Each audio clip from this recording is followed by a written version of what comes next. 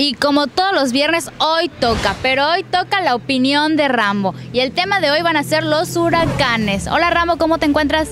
Bueno, em, después que hablamos de las Olimpiadas, señores, y todo, en, aquí Mundo Escucha y Ciudad Escucha, vamos a hablarles ahora de los huracanes, referente de que cómo se deben de preparar para cuando venga un huracán y tenga una precaución, estar prevenido, para que... Exactamente, vamos a hablar sobre las prevenciones. A ver, Rambo, dinos alguna ¿Cómo vamos a prevenir esta temporada de huracanes que vemos que ya se empezaron con las alertas? Platícanos.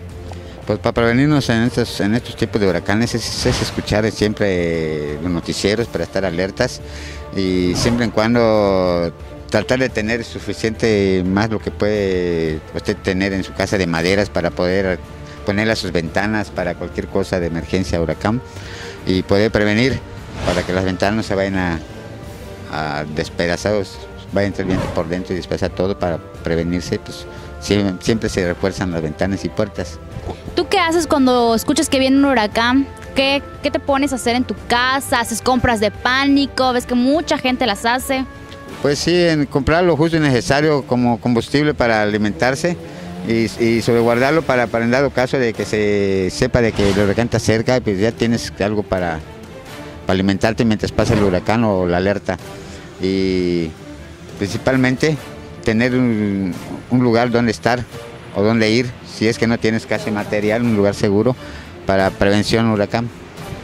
Y a ver, Rambo, ¿qué hacemos durante el huracán? ¿Ves que eso siempre nosotros no sabemos qué hacer, nos acercamos a las ventanas, eso está mal? ¿Qué podemos hacer mientras estamos en pleno huracán?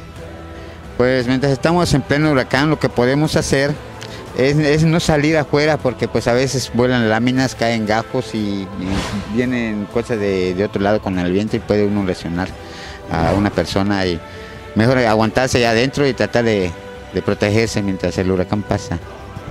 Y ahora, ¿qué podemos hacer cuando el huracán ya ha pasado? ¿Ves que muchos árboles quedan derribados?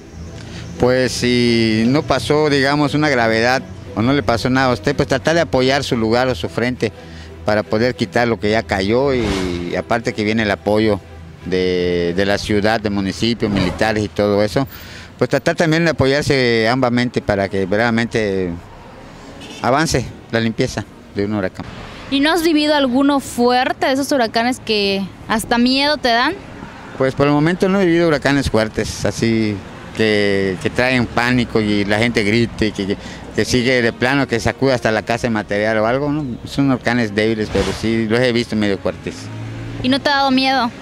Pues miedo no me da, pero sí me, sorprende porque pues es un viento que, no se ve muy así y ves cómo tumban, cómo arrancan las raíces de los árboles grandes y, y hasta vira carros a veces según la, fuerza de gravedad que traiga. Y a ver, Ramo, con esto de las compras de pánico, ¿qué es lo que podemos comprar para que tengamos lo necesario en casa mientras pasa un huracán? Pues lo más importante es tener agua y, lo que se llama galletas y, pan, tanto como maseca y harinas, tanto como verdaderamente si no quiero estar, usar gas, pues carbón, porque si se le va el gas o, por algo de que quiere usted guardar su tanque o cualquier cosa o el susto, pues prende usted su fogata y haces comida. Si no, pues comidas así para que, sean rápidas. Tener siempre su bastimento. Bueno, pues ya escucharon a Rambo con la opinión sobre el tema de los huracanes y escúchenlo, porque de verdad son unos muy buenos consejos.